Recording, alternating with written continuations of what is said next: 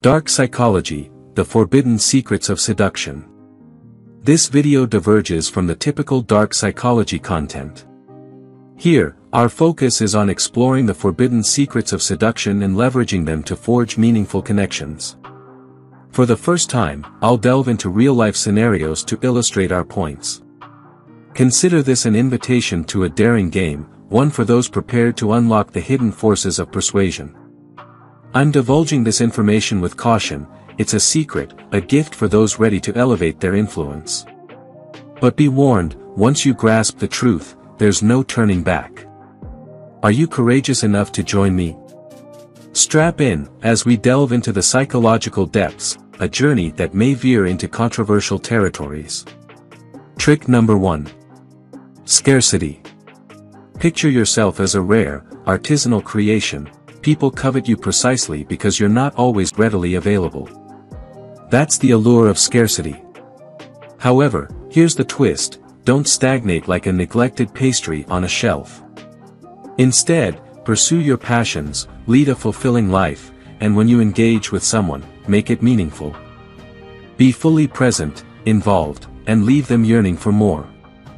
Take Michael, for instance. He's passionate about pottery and dedicates himself to classes twice a week. When he meets Sarah at a coffee shop and sparks fly, Michael casually mentions his pottery hobby, highlighting that he attends classes only when his schedule permits. This subtly communicates to Sarah that Michael's life extends beyond their interaction, elevating his appeal and intrigue. Trick number 2. Foot in the door. Think back to that friend who gently nudged you into trying kale chips, one bite at a time, that's the foot in the door technique in action. Begin with small steps, like meeting for coffee, and gradually progress towards larger endeavors. This approach taps into our innate desire for consistency, making it easier for others to say yes as the relationship develops. However, it's crucial not to come across as pushy or sleazy. Instead, Focus on making the journey enjoyable, respectful, and centered around fostering a genuine connection. Think of it as planting the seed of friendship and observing it flourish naturally. Take David, for instance.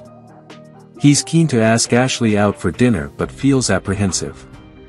He starts by casually inviting her for coffee, and after an enjoyable coffee date, he suggests trying a new restaurant. They bond over shared interests, creating a sense of comfort and familiarity that makes the dinner invitation feel like the next logical step. Trick number 3. The Mystery Whisperer. Imagine yourself as a captivating novel, far more intriguing than Twilight. Instead of divulging all your chapters at once, sprinkle enticing tidbits, showcase hidden talents, and maintain an aura of mystery to keep them intrigued. This approach ignites curiosity and sustains interest, akin to the thrill of a chase. However, it's essential to be authentic and avoid cryptic or confusing behavior. Allow others to discover the remarkable person you are gradually, like unwrapping a delightful present layer by layer. For instance, consider Alex and Emily's first date. Alex shares his passion for hiking and recounts a recent solo adventure, skillfully omitting certain details while highlighting exciting elements such as hidden waterfalls and unexpected encounters. This leaves room for Emily's imagination to wander and adds depth to their conversation. Trick number 4. Push and pull. At times, it's important to lavish attention on your crush, making them feel like the center of the universe, a gentle push. However, it's equally crucial to step back occasionally, focusing on your own aspirations and allowing them to miss your presence. This introduces a healthy level of uncertainty that keeps the relationship dynamic and thrilling. Your self-assuredness and independence will be valued by your crush, as it demonstrates you're not overly dependent. Yet, maintaining balance is key, avoid completely disappearing, but instead, showcase that you have a life beyond them. For instance, consider Ben and Chloe, who have been dating for a few months. Ben notices Chloe becoming clingy, so he decides to prioritize some personal time, immersing himself in his hobbies and socializing with friends. When they reunite, Chloe is noticeably more engaged and enthusiastic, appreciating Ben's sense of independence and individuality. Trick number 5. Triangle of Desire. Nonchalantly bring up the fact that others find you intriguing. People tend to desire what others desire, it's akin to having social proof on steroids. However, refrain from boasting or displaying jealousy, instead, subtly convey that you're a desirable individual with options. This adds a dash of excitement to the relationship and serves as a reminder to your partner that they're with someone special. Maintain elegance in your approach. Picture it like having an array of tempting appetizers on your plate, yet cherishing the main course with your current companion.